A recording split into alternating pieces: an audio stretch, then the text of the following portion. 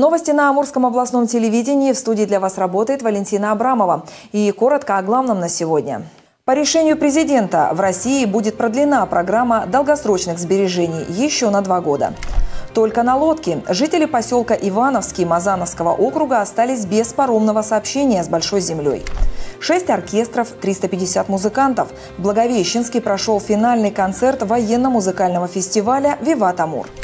Вокруг света за 4 месяца в Приамуре побывали пилоты из Новой Зеландии, которые совершают кругосветное путешествие. И обо всем по порядку. Программа долгосрочных сбережений будет продлена еще на два года. Об этом в ходе Петербургского международного экономического форума объявил президент России Владимир Путин. Новая мера поддержки позволит жителям страны не только накопить дополнительные средства на крупные покупки за счет софинансирования суммы государством, но и получить дополнительные выплаты к пенсии. Как работает механизм, рассказали сотрудникам областной клинической больницы. Такие информационные встречи будут проходить и на других предприятиях региона. Подробности в следующем материале. Программа долгосрочных сбережений заработала в России с начала текущего года. Она позволяет вкладчикам удвоить вложенные средства. Это станет возможным за счет использования накопительной части пенсии, инвестирования собственных средств и государственного софинансирования. Это сумма в размере 108 тысяч рублей, которые будут выплачены в течение трех лет. По поручению президента разработан новый механизм, который позволит населению а, накопить э, какие-то средства на крупные покупки, создать финансовую подушку безопасности. А, и мы понимаем, что к каждому новому сберегательному инструменту люди относятся очень осторожно.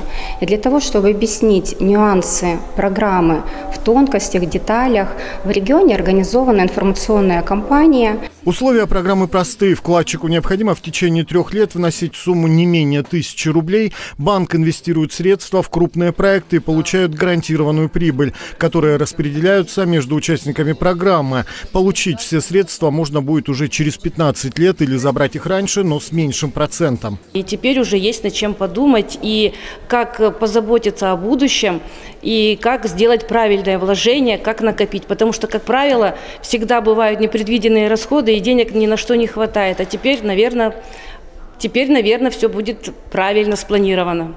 Программа долгосрочных сбережений пока рассчитана на три года, но уже сегодня рассматривается возможность продления ее до пяти лет. В этом случае накопленная сумма вкладов, в том числе за счет государственного софинансирования, будет увеличена. Юрий Камышный, Михаил Величкин, Амурское областное телевидение.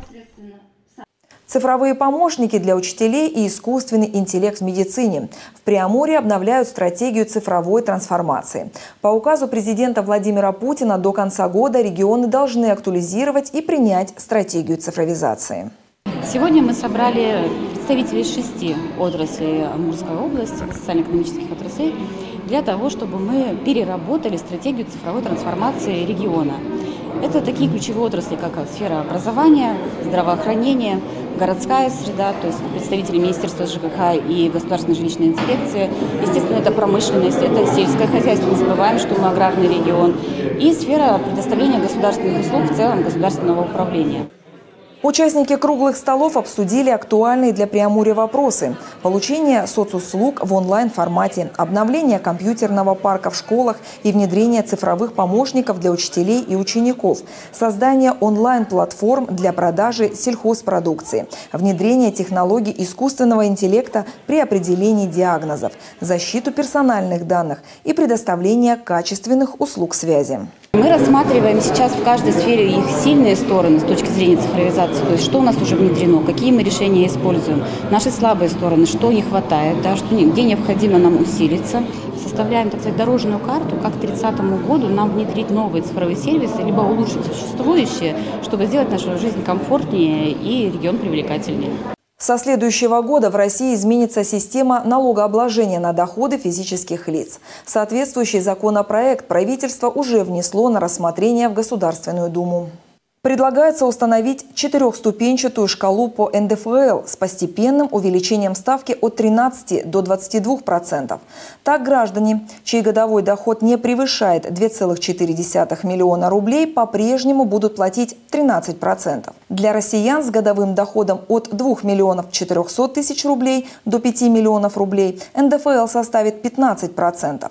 При доходах в размере от 5 до 20 миллионов рублей 18%, от 20 до 50 – 20%. Для зарабатывающих более 50 миллионов НДФЛ составит 22%. На сегодняшний момент, с учетом ситуации экономической на территории Амурской области, средняя заработная плата, которая для многих является доходом, составляет 75 тысяч рублей. Поэтому данный законопроект и изменения не коснутся большинства населения и жителей Амурской области. При этом появляется дополнительная возможность, которая также дается а, проектом закона для поддержки и введения новой меры социальной поддержки для нуждающихся граждан. Предполагается, что повышенная ставка затронет чуть более 2 миллионов россиян. Дополнительные средства от новой системы налогообложения пойдут на меры социальной поддержки. К примеру, планируется выплачивать 13-ю зарплату семьям с двумя и более детьми, чей доход не превышает полуторакратного размера прожиточного минимума. Жители поселка Ивановский Мазановского округа остались без паромного сообщения с Большой землей. В этом году по неизвестным причинам не была запущена паромная переправа через Селимджу. Таким образом, кратчайший путь до райцентра для сельчан оказался недоступен. Об этом сообщили активисты Народного фронта. Ежедневно им приходится добираться на работу только на лодках. А также есть проблема с перевозкой маломобильных граждан, чтобы а, отсутствует возможность а, к ним приезда вовремя скорой помощи и многое другое. Данную проблему они уже поднимали несколько лет назад. Была организована переправа с помощью парома. Сейчас он отсутствует. Почему, мы будем разбираться. Обратились мы уже в Минтранс области, также в прокуратуру. Подключаем контролирующие структуры, чтобы вопрос оперативно решился. По словам жителей Ивановского, из-за отсутствия паромной переправы им приходится договариваться с владельцами лодок, чтобы они перевезли их на другой берег. Путь занимает до 10 минут. Берега Асташинских озер привели в порядок. Водоемы уникальны тем, что они природного происхождения. Находятся в черте города. Общественники организовали здесь субботник. Напомню, ранее в этом месте было обнаружено несколько несанкционированных свалок. А в мае на берега озер выезжали сотрудники природоохранной прокуратуры, Министерства природных ресурсов и экологии. Тогда обсуждалось, что на водоемах гнездятся более 15 видов птиц, в том числе и краснокнижные мандаринки. И если не поддерживать чистоту окружающей среды, то их популяция может уменьшиться. Тогда же совместно с управлением ЖКХ города и Народным фронтом было принято решение о проведении субботника.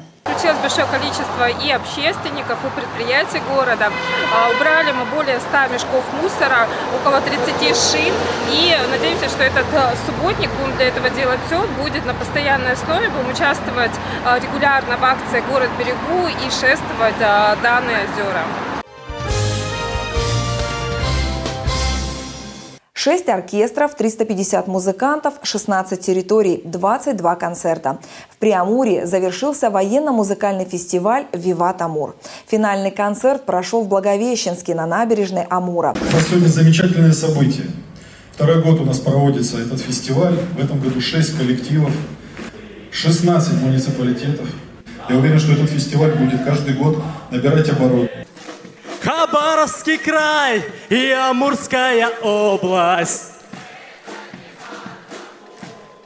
Второй фестиваль «Виват Амур» расширил свою географию и количество участников, чтобы их выступления смогли посмотреть еще больше зрителей. В нем приняли участие шесть ведущих духовых оркестров страны. Выступления коллективов проходили в концертных залах, парках, скверах, на стадионах и площадях 16 муниципалитетов Приамурья.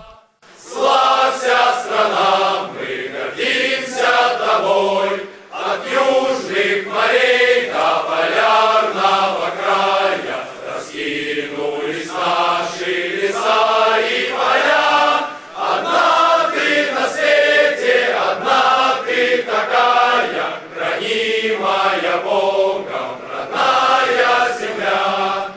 Завершился фестиваль «Благовещенский». Масштабный концерт прошел в амфитеатре на набережной Амура. Сначала состоялось оркестровое дефиле участников фестиваля. Это особый жанр выступления, когда музыканты не только играют на музыкальных инструментах, но и выполняют сложные перестроения. Яркой точкой стал плац-концерт и сводный оркестр участников.